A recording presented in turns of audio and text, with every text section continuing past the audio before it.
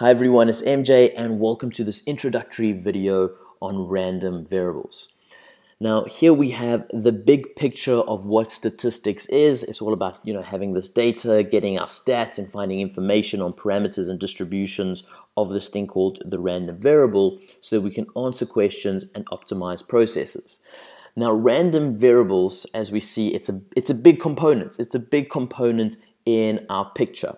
In fact, random variables are almost, in a way, the heart of reality. If you can understand random variables, you can understand life. And I'm not exaggerating here because everything has an element of chance and randomness to it. So if you can understand this concept, then you are going to go very far in life. Now, random variables. What we're going to be doing in this course is we're going to be introducing parameters, we're going to be introducing distributions, and we're going to even be introducing a certain amount of stats. And the big key mathematics that we're going to be using here is calculus. So if you haven't done calculus before, because that is one thing that we are assuming in this course, that you have done calculus, you might want to brush up on that a little bit before really getting stuck into this.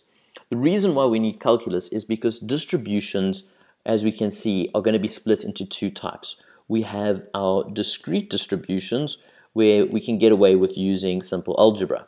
But then we have our continuous distributions, and that's where we're going to be requiring the use of calculus. Once we have these things here, we can use this maths to create statistics that can estimate our parameters. What the subject does do is that it does carry on from probability. So if you haven't seen the previous course, I highly recommend that you go check that one out first because that is, uh, again, another prerequisite in order to understand what random variables are.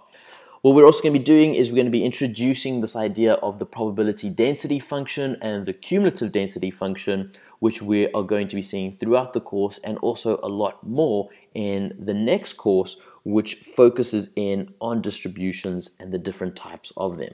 So this is a critical, critical chapter and it is very, very, very important that you become comfortable with this concept known as the random variable.